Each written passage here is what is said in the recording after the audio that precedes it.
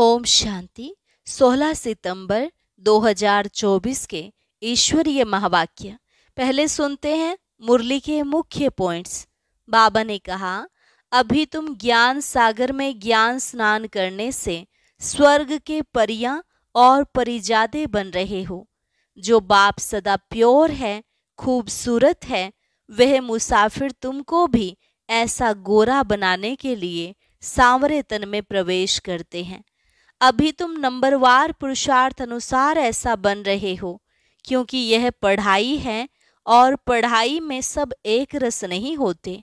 जो इस पढ़ाई में सबसे अच्छा होगा, वह ज़रूर दूसरों को भी पढ़ाएगा। फिर बाबा ने कहा, तुम हो महावीर महावीरनिया। सबसे पहलवान को ही महावीर कहा जाता है। यहाँ सारा मदार है पवित्रता पर। पवित्र बन तुम्हें औरों की भी सर्विस करनी है। जो गटर में पड़े हैं, उन्हों को निकालना है। यहाँ विषय वैतरणी नदी में अपरंपार दुख हैं। अब तुम्हें तो अपरंपार सुखों में चलना है तो कितनी खुशी रहनी चाहिए, और साथ में खबरदार भी रहना चाहिए। तुम्हें पढ़ाई पर बहुत अटेंशन रखना है। स्वयं गॉड फादर तुमको पढ़ाते हैं तो एक रोज भी इस पढ़ाई को मिस नहीं करना। और लास्ट में बाबा ने कहा, जब तुम बच्चे ज्ञान और योग में मज़बूत हो जाएँगे तो फिर सारे काम ऐसे करेंगे जैसे कि जिन। फिर तुमको सर्विस बिगड़ सुख नहीं आएगा, दूसरों का कल्याण करते रहेंगे। तुम्हारी मनुष्य को देवता बनाने की हॉबी आदत बन जाएगी। और अब सुनते हैं महावाक्यों को विस्तार से। मुरली का सार, मीठे बच्चे, यह वंडरफुल सत्संग है, जहाँ तुम्हें जीते जी मरना सिखलाया जाता है। जीते जी मरने वाले ही हंस बनते हैं।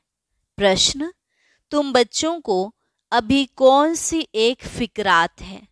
उत्तर, हमें विनाश के पहले संपन्न बनना है। जो बच्चे ज्ञान और योग में मज़बूत होते जाते हैं उन्हें मनुष्य को देवता बनाने की हॉबी, आदत होती जाती है। वह सर्विस के बिना रह नहीं सकते हैं। जिन्न की तरह भागते रहेंगे। सर्विस के साथ साथ स्वयं को भी संपन्न बनाने की चिंता होगी। ओम शांति। रूहानी बाप बैठ रूहानी बच्चों को समझाते हैं। रूह अब साकार में है और फिर प्रजापिता ब्रह्मा की संतान है क्योंकि अडोप्ट किए हुए हैं। तुम्हारे लिए सब कहते, यह भाई बहन बनाती हैं। बच्चों को बाप ने समझाया है, असल में तुम आत्माएँ भाई भाई हो। अब नई सृष्टि होती है तो पहले पहले ब्राह्मण चोटी चाहिए। तुम शुद्र थे, अभी ट्रांसफ़र हुए हो। ब्राह्मण भी तो ज़रूर चाहिए। प्रजापिता ब्रह्मा का नाम तो बाला है इस हिसाब से तुम समझते हो, हम सब बच्चे भाई बहन ठहरे। जो भी अपने को ब्रह्मा कुमार कुमारी कहलाते हैं, वह ज़रूर भाई बहन ठहरे। सभी प्रजापिता ब्रह्मा की संतान हैं तो भाई बहन ज़रूर होना चाहिए। यह समझाना है बेसमझों को। बेसमझ भी हैं और फिर ब्लाइंड फेथ भी हैं। जिनकी पूजा करते हैं, फेथ रखते हैं यह फलाना है, परंतु उसे जानते कुछ भी नहीं। लक्ष्मी नारायण की पूजा करते हैं, परंतु वह कब आए, कैसे बने, फिर कहाँ गए, कोई भी नहीं जानते। कोई भी मनुष्य नेहरू आदि को जानते हैं तो उन्हों की हिस्ट्री, ज्योग्राफी का भी सब पता है। अगर बायोग्राफी को नहीं जानते तो वह क्या काम का? पूजा करते हैं, परंतु उनकी जीवन कहानी को नहीं जानते। मनुष्यों की जीवन कहानी को तो जानते हैं, परंतु जो बड़े पास्ट हो गए हैं, उनकी एक की भी जीवन कहानी को नहीं जानते। शिव के कितने ढेर पुजारी हैं, पूजा करते हैं, फिर मुख से कह देते, वह तो पत्थर भीतर में है कण कण में है। क्या यह जीवन कहानी ठहरी? यह तो अकल की बात नहीं हुई। अपने को भी पतित कहते हैं। पतित अक्षर कितना फिट है, पतित माना विकारी। तुम समझा सकते हो कि हम ब्रह्मा कुमार कुमारी क्यों कहलाते हैं? क्योंकि ब्रह्मा की औलाद हैं और अडोप्टेड हैं। हम कुख वंशावली नहीं, मुख वंशावली हैं। ब्राह्मण ब्राह्मणियाँ तो भाई बहन ठहरे ना तो उनकी आपस में क्रिमिनल आई हो न सके। खराब ख्यालात मुख्य हैं ही काम के। तुम कहते हो हम प्रजापिता ब्रह्मा की संतान भाई बहन बनते हैं। तुम समझते हो हम सब हैं शिव बाबा की संतान भाई भाई यह भी पक्का है, दुनिया को कुछ भी पता नहीं। ऐसे ही सिर्फ़ कह देते हैं। तुम समझा सकते हो, सभी आत्माओं का बाप वह एक है, उनको सब पुकारते हैं। तुमने चित्र भी दिखाया है। बड़े बड़े धर्म वाले भी इस निराकार बाप को मानते हैं। वह है निराकार आत्माओं का बाप और फिर साकार में सभी का बाप प्रजापिता ब्रह्मा है, जिनसे फिर वृद्धि को पाते रहते हैं, झाड़ बढ़ता जाता है भिन्न भिन्न धर्मों में आते जाते हैं। आत्मा तो इस शरीर से न्यारी है। शरीर को देख कर कहते हैं, यह अमेरिकन है, यह फलाना है। आत्मा को तो नहीं कहते आत्माएँ सब शांति धाम में रहती हैं, वहाँ से आती हैं पाठ बजाने। तुम कोई भी धर्म वाले को सुनाओ, पुनर्जन्म तो सब लेते हैं, और ऊपर से भी नई आत्माएँ आती रहती हैं तो बाप समझाते हैं, तुम भी मनुष्य हो। मनुष्य को ही तो सृष्टि के आदि मध्य अंत का मालूम होना चाहिए कि यह सृष्टि चक्र कैसे घूमता है, इनका रचयता कौन है, कितना समय इनके फिरने में लगता है। यह तुम ही जानते हो, देवताएँ नहीं जानते। मनुष्य ही जानकर फिर देवता बनते हैं। मनुष्य को देवता बनाने वाला है बाप। बाप अपना और रचना का भी परिचय देते हैं। तुम जानते हो, हम बीज रूप बाप के बीज रूप बच्चे हैं। जैसे बाप इस उल्टे वृक्ष को जानते हैं, वैसे हम भी जान गए हैं। मनुष्य मनुष्य को कभी यह समझा न सके। परंतु तुमको बाप ने समझाया है। जब तक तुम ब्रह्मा के बच्चे नहीं बने हो, तब तक यहाँ आ नहीं सकते। जब तक पूरा कोर्स लेकर समझते नहीं हैं, तब तक तुम ब्राह्मणों की सभा में बैठा कैसे सकते? इसको इंद्र सभा भी कहते हैं। इंद्र कोई वह पानी की बरसात नहीं बरसाते हैं। इंद्र सभा कहा जाता है। परियाँ भी तुमको बनना है। अनेक प्रकार की परियाँ गाई हुई हैं। कोई बच्चे अच्छे शोभवान होते हैं तो कहते हैं ना, यह तो जैसे परी है, पाउडर आदि लगाकर सुंदर परी बन जाते हैं। सत्युग में तुम बनते हो परियाँ परिजाते। अभी तुम ज्ञान सागर में ज्ञान स्नान करने से परियाँ देवी देवता बन जाते हो। तुम जानते हो हम क्या से क्या बन रहे हैं। जो सदा प्योर बाप है, सदा खूबसूरत है वह मुसाफिर तुमको ऐसा बनाने के लिए सांवरे तन में प्रवेश करते हैं। अब गोरा कौन बनावे? बाबा को बनाना पड़े ना। सृष्टि का चक्र तो फिरना है। अब तुमको गोरा बनना है। पढ़ाने वाला ज्ञान सागर एक ही बाप है। ज्ञान का सागर प्रेम का सागर है। उस बाप की जो महिमा गाई जाती है, वह लौकिक बाप की थोड़े ही हो सकती है। बेहद के बाप की ही महिमा है। उनको ही सब पुकारते हैं कि हमको ऐसी महिमा वाला आकर बनाओ। अभी तुम बन रहे हो ना नंबरवार पुरुषार्थ अनुसार पढ़ाई में सब एक रस नहीं होते हैं, रात दिन का फ़र्क रहता है। तुम्हारे पास भी बहुत आएँगे, ब्राह्मण ज़रूर बनना है। कोई फिर अच्छी रीति पढ़ते हैं, कोई कम। जो पढ़ाई में सबसे अच्छा होगा तो दूसरों को भी पढ़ा सकेंगे। तुम समझ सकते हो, इतने कॉलेज निकलते रहते हैं, बाबा भी कहते हैं, कॉलेज ऐसा बनाओ, जो कोई भी समझ सके, कि इस कॉलेज में रचता और रचना के आदि मध्यंत का नॉलेज मिलता है। बाप भारत में ही आते हैं तो भारत में ही कॉलेज खुलते रहते हैं। आगे चल, विदेश में भी खुलते जाएँगे। बहुत कॉलेज यूनिवर्सिटीज चाहिए ना, जहाँ बहुत आकर पढ़ेंगे। फिर जब पढ़ाई पूरी होगी तो देवी देवता धर्म में सब ट्रांसफ़र हो जाएँगे। अर्थात मनुष्य से देवता बन जाएँगे। तुम मनुष्य से देवता बनते हो ना? गायन भी है, मनुष्य से देवता किए करत न लागी बार यहाँ यह है मनुष्यों की दुनिया, वह है देवताओं की दुनिया। देवताओं और मनुष्य में रात दिन का फ़र्क है। दिन में है देवताएँ, रात में है मनुष्य। सब भक्त ही भक्त हैं, पुजारी हैं। अभी तुम पुजारी से पूज्य बनते हो। सत्युग में शास्त्र भक्ति आदि का नाम नहीं होता है। वहाँ है सब देवता। मनुष्य होते हैं भक्त।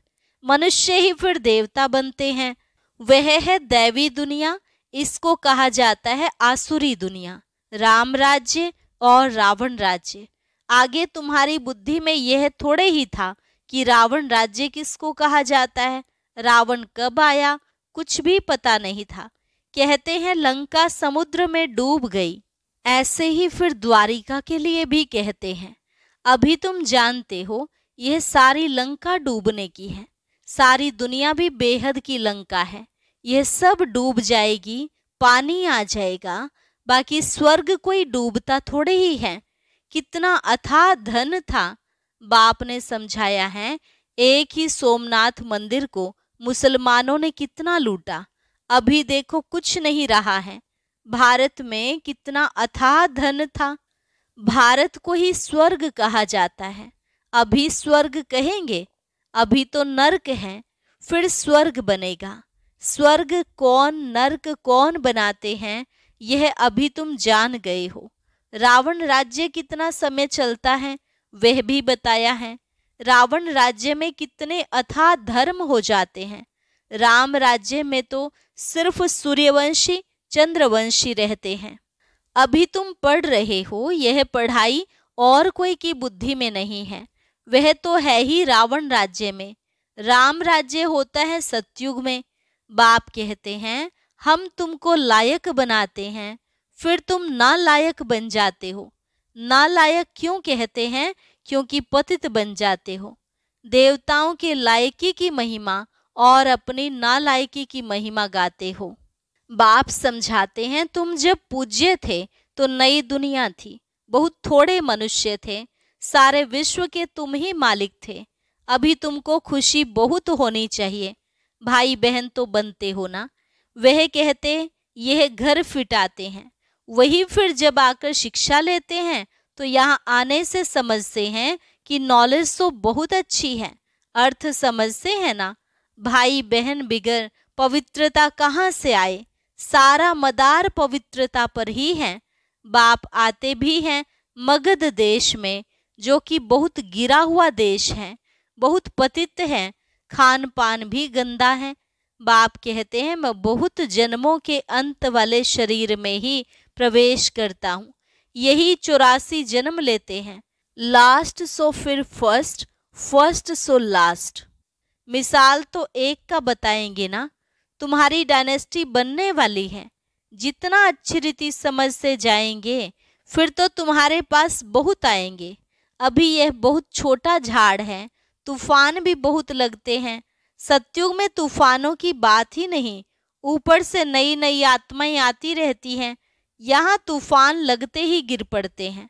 वहाँ तो माया का तूफ़ान होता ही नहीं, यहाँ तो बैठे बैठे मर जाते हैं। और फिर तुम्हारी माया के साथ युद्ध है तो वह भी हैरान करती है। सत्युग में यह नहीं होगा। दूसरे कोई धर्म में ऐसी बात होती नहीं। रावण राज्य और राम राज्य को कोई समझ से ही नहीं है। भले सत्संग में जाते हैं, वहाँ मरने जीने की बात नहीं होती। यहाँ तो बच्चे अडोप्ट होते हैं। कहते हैं, हम शिव बाबा के बच्चे हैं, उनसे वर्षा लेते हैं। लेते लेते फिर गिर पड़ते हैं तो वर्षा भी खलास। हंस से बदलकर बगुला बन जाते हैं। फिर भी बाप रहम दिल हैं तो समझाते रहते हैं। कोई फिर से चढ़ जाते हैं, जो थमे, स्थिर रहते हैं। उनको कहेंगे महावीर, हनुमान। तुम हो महावीर महावीरनी नंबरवार तो है ही। सबसे पहलवान को महावीर कहा जाता है। आदि देव को भी महावीर कहते हैं, जिससे ही यह महावीर पैदा होते हैं, जो विश्व पर राज्य करते हैं। नंबरवार पुरुषार्थ अनुसार रावण पर विजय पाने के लिए पुरुषार्थ करते रहते हैं। रावण तो है पाँच विकार। यह तो समझ की बात है। अभी तुम्हारी बुद्धि का ताला बाप खोलते हैं। फिर ताला एकदम बंद हो जाता है। यहाँ भी ऐसे हैं। जिनका ताला खुलता है तो वह जाकर सर्विस करते हैं। बाप कहते हैं, जाकर सर्विस करो। गटर में जो पड़े हैं, उनको निकालो। ऐसे नहीं कि तुम भी गटर में गिरो। तुम बाहर निकल, औरों को भी निकालो। विषय वैतरणी नदी में अपरम्पार दुख हैं। अभी अपरम्पार सुखों में चलना है। जो अपरम्पार सुख देते हैं उनकी महिमा गाई जाती है। रावण जो दुख देते हैं, उनकी महिमा क्या होगी? रावण को कहा जाता है असुर। बाप कहते हैं, तुम रावण राज्य में थे, अभी अपार सुख पाने के लिए तुम यहाँ आए हो। तुमको कितने अपार सुख मिलते हैं। खुशी कितनी रहनी चाहिए, और खबरदार भी रहना चाहिए। पोजीशन तो नंबर वार होती है। हर एक एक्टर का पोजीशन अलग है। सब में तो ईश्वर हो न सके, बाप हर बात बैठ समझाते हैं। तुम बाप को और रचना के आदि मध्यंत को जान जाते हो नंबरवार पुरुषार्थ अनुसार नंबरवार पढ़ाई पर ही मार्क्स होती हैं। यह है बेहद की पढ़ाई। इसमें बच्चों का बहुत अटेंशन होना चाहिए। पढ़ाई एक रोज भी मिस ना हो। हम हैं स्टूडेंट गॉड फादर पढ़ाते हैं। वह नशा बच्चों को चढ़ा रहना चाहिए। भगवानु, आज सिर्फ़ उन्होंने नाम बदलकर श्री कृष्ण का नाम डाल दिया है। भूल से श्री कृष्ण भगवानुवाच समझ लिया है, क्योंकि श्री कृष्ण हुआ नेक्स्ट टू गॉड स्वर्ग जो बाप स्थापन करते हैं, उसमें नंबर वन यह है ना? यह ज्ञान अभी तुमको मिला है। नंबरवार पुरुषार्थ अनुसार अपना भी कल्याण करते हैं और दूसरों का भी कल्याण करते रहते हैं। उनको सर्विस बिगर कभी सुख नहीं आएगा। तुम बच्चे योग और ज्ञान में मज़बूत हो जाएँगे। तो काम ऐसे करेंगे जैसे जिन्न मनुष्य को देवता बनाने की हॉबी आदत लग जाएगी। मौत के पहले ही पास होना है। सर्विस बहुत करनी है। पीछे तो लड़ाई लगेगी। नेचुरल कैलेमिटीज भी आएँगी। अच्छा मीठे मीठे सिकिलधे बच्चों प्रति मात पिता बाप दादा का याद प्यार और गुड मॉर्निंग। रूहानी बाप की रूहानी बच्चों को नमस्ते। रूहानी बच्चों की रूहानी बाप दादा को नमस्ते नमस्ते, गुड मॉर्निंग। धारणा के लिए मुख्य सार, पहली पॉइंट, लास्ट सो फ़र्स्ट जाने के लिए महावीर बन पुरुषार्थ करना है। माया के तूफानों में हिलना नहीं है। बाप समान, रहम दिल बन। मनुष्यों के बुद्धि का ताला खोलने की सेवा करनी है। ज्ञान सागर में रोज ज्ञान स्नान कर परिजादा बनना है। एक दिन भी पढ़ाई मिस नहीं करनी है। भगवान के हम स्टूडेंट हैं, इस नशे में रहना है। वरदान, गंभीरता के गुण दबारा। फुल मार्क्स जमा करने वाले। गंभीरता की देवी व देवता भव। गंभीरता के गुण द्वारा फुल मार्क्स जमा करने वाले गंभीरता की देवी व देवता भव। वर्तमान समय गंभीरता के गुण की बहुत बहुत आवश्यकता है, क्योंकि बोलने की आदत बहुत हो गई है। जो आता है वो बोल देते हैं। किसी ने कोई अच्छा काम किया और बोल दिया तो आधा खत्म हो जाता है, आधा ही जमा होता है। और जो गंभीर होता है, उसका फुल जमा होता है। इसलिए गंभीरता की देवी व देवता बनो और अपनी फुल मार्क्स इकट्ठी करो। वर्णन करने से मार्क्स कम हो जाएँगी। स्लोगन, बिंदु रूप में स्थित रहो तो समस्याओं को सेकंड में बिंदु लगा सकेंगे। ओम शांति। कई बार ब्राह्मण बच्चे पूछते हैं कि संगम युग कब तक चलेगा? स्वर्ग कब आएगा? विनाश की डेट भी पूछते रहते हैं। तो इसके जवाब में बाबा ने क्या कहा? आइए सुनते हैं आज के अव्यक्त ज्ञान मोती में।